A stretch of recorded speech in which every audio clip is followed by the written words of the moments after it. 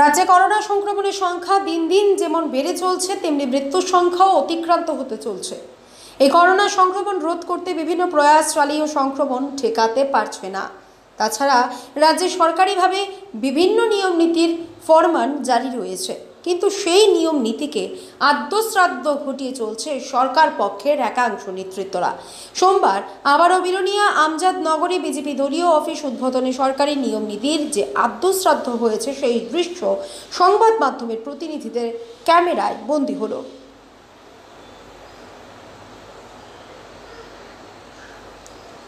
কিন্তু এই দিনের কর্মসূচিতে সরকারি নিয়ম নীতির কোনো বালাই ছিল না।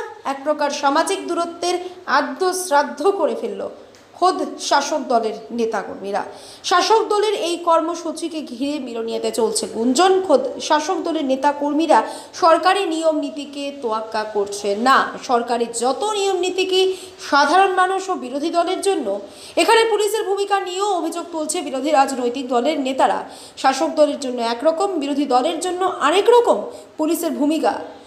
পুলিশের এই বিচারিতা ভূমিকা কেন প্রশ্ন বিরোধী দলের নেতাকর্মীদের? সংখ্যালঘু মোর্চার বিজেপি সভাপতি ছাড়াও ছিলেন বিশ্বমুখ মণ্ডল সভাপতি অশোক বৈদ্য ও সংখ্যালঘু মোর্চার জেলার সভাপতি লালচাঁদ বাদশাহ সংখ্যালঘু মোর্চার সম্পাদক আক্তার হোসেন সহ অন্যান্য নেতৃত্বরা। এছাড়া এদিন সত্তর পরিবার বিভিন্ন দল ছেড়ে বিজেপি দলে যোগদান করে। দলোত্তেগীদের হাতে দলীয় পতাকা দিয়ে বরণ করেন অনুষ্ঠানের অতিথিরা। Bureau report social Bangla.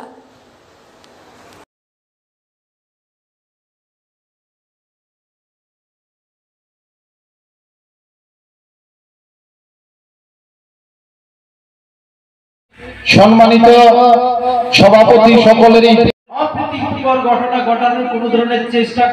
তাহলে ভারতীয় জনতা পার্টি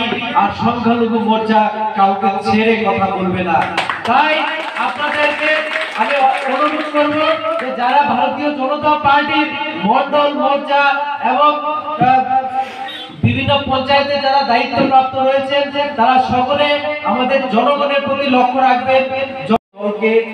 সমর্থন করব, দলে আসলে আমার কি লাভ? তারপরে আবার রয়েছে এটা সংখ্যালঘু অধ্যুষিত এলাকা। যে সংখ্যালঘু অধ্যুষিত এলাকাতে বেশিরভাগ মুসলিম অংশের লোকের বসবাস। মুসলিমদের মনে একটা প্রশ্ন থেকেই যায় যে আমাদেরকে তো অনেকে অনেক রকম কথা বলে, আমরা কেন এই দলটাকে সমর্থন করব বা এই দলে আসব? আমাদেরকে অনেক কিছু বলা হয়, আমাদের খাওয়া খাদ্য নিয়ে বেশি আমাদেরকে তারা উৎপীড়ন করার চেষ্টা করে বিরোধী দলের পক্ষ থেকে। তাই আপনাদের উদ্দেশ্যে আমি দু চারটি কথা বলতে চাইব। আমরা যারা সংখ্যালঘু অংশের ভাই বোনেরা রয়েছি, আমরা এক কথায় আল্লাহকে বিশ্বাস করি। আর যদি আল্লাহকে বিশ্বাস করি, তাহলে আমাদের সম্পূর্ণ বিশ্বাসটা আল্লাহর উপরেই থাকবে। আর যদি আল্লাহর উপরে আমাদের বিশ্বাস থাকে, তাহলে এই পৃথিবীর বুকে এমন কোন লোকের ক্ষমতা নেই যে আমাদের খাবারটাকে ছিনিয়ে নেবে। আপনারা জানবেন যে একটা বাচ্চা জন্ম হওয়ার তিন মাস আগে তার মায়ের স্তনের মধ্যে দুধ চলে আসে। যে দুধটা বাচ্চা জন্ম হওয়ার পরে খায়, তারপরে আপনাদেরকে বিনামূল্যে গ্যাস কানেকশনের ব্যবস্থা করে দিয়েছে।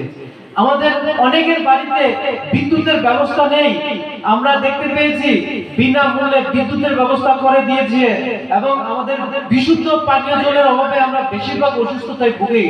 এই অসুস্থতা যেন আমাদের আর না হতে হয়, তার জন্য অটল জলধারার মাধ্যমে প্রত্যেকের বাড়িতে বিনা পয়সায় জলের কানেকশনের ব্যবস্থা করে দিয়েছে। আপনার ছেলেটা যখন স্কুলে পড়তে যায়, দুপুরবেলা তাকে মিড ডে মিলের ব্যবস্থা করে দিয়েছে। সেটাও তো আমাদের কেন্দ্রীয় সরকারের প্রকল্প। এই ছেলেটা যদি ক্লাস টু থেকে ফাইভ পর্যন্ত পড়াশোনা করে, তাহলে তাকে আমরা ওয়ার্ক বোর্ডের মাধ্যমে তাদেরকে আমরা স্টাইপেন্ডের ব্যবস্থা করে দিয়েছি। তারা চারশো টাকা করে স্টাইপেন্ড পাচ্ছে। তারা যখন ক্লাস সিক্স থেকে টেন পর্যন্ত পড়াশোনা করবে, প্রত্যেকটা ছাত্ররা স্কুল থেকে স্টাইপেন্ড পাবে। ভারতীয় জনতা পার্টিকে শক্তিশালী করুন, ভারতীয় জনতা পার্টির পতাকা দলে সামিল হন।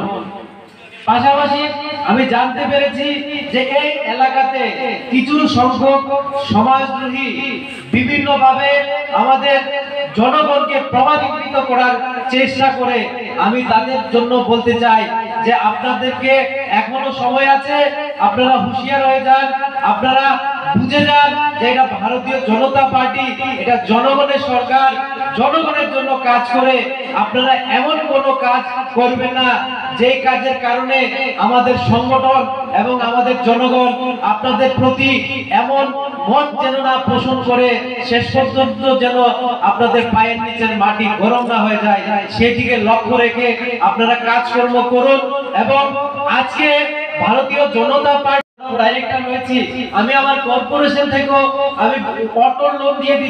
লোন দিয়ে দিচ্ছি একটা ছাত্র যদি সে ডাক্তারি পড়াশোনা করতে যায়, তার জন্য প্রায় পঁয়ত্রিশ লক্ষ টাকার প্রয়োজন। আমি এই লোনটাও আমাদের কর্পোরেশন থেকে ছয় পার্সেন্ট সুদে আমরা দিয়ে দিচ্ছি। আমরা সুবিধা অনবরত দিয়ে যাচ্ছি। আমরা আপনারা দেখতে পাবেন যে বিগত দিনে যে সকল পার্টি আমাদের রাজ্যে কাজকর্ম করেছে, সংখ্যালঘুদের জন্য আলাদাভাবে কোনো লোক ছিল না দেখাশোনা করার জন্য। কিন্তু ভারতীয় জনতা পার্টিতে সংখ্যালঘুদের দেখাশোনার জন্য আলাদা মোর্চা রয়েছে। এবং এই মোর্চার সম্পূর্ণ কাজ সংখ্যালঘু অংশের প্রত্যেকটা ভাই বোনকে প্রতি লক্ষ্য রাখা এবং তাদেরকে স্বাবলম্বিত করে তোলা। আমরা মাইনরিটি কর্পোরেশনের মাধ্যমে অনেকগুলো ভাই বোনদেরকে আমরা নার্সিং পড়িয়ে এনেছি। আজকে এই সকল ভাই বোনেরা নার্সিং পড়ে এসে মিনিমাম চোদ্দ হাজার টাকা বেতনে চাকরি করে যাচ্ছে। এবং আমরা চাইব আগামী দিনেও আমরা যেন এই আমজাদনগর থেকেও এই ধরনের অনুদান আমরা দিতে পারি। আর আরেকটা জিনিস আপনাদেরকে আমি বলতে যাব যে ভারতীয় জনতা পার্টি আর সংখ্যালঘু মোর্চা একসঙ্গে কাজ করে যাচ্ছে আপনাদের সাহায্যার্থে। আপনারা বিনা দ্বিধায়, বিনা ভয়ে ভারতীয় জনতা পার্টির পতাকা তলে সামিল হন। ভারতীয় জনতা পার্টির হাতকে শক্তিশালী করুন। আপনারা অনবরত বিভিন্ন ধরনের সুযোগ সুবিধা পেয়ে যাবেন এবং এই সুযোগ সুবিধার মাধ্যমে আপনারা স্বাবলম্বিত হতে পারবেন। আপনারা জানেন, বিগত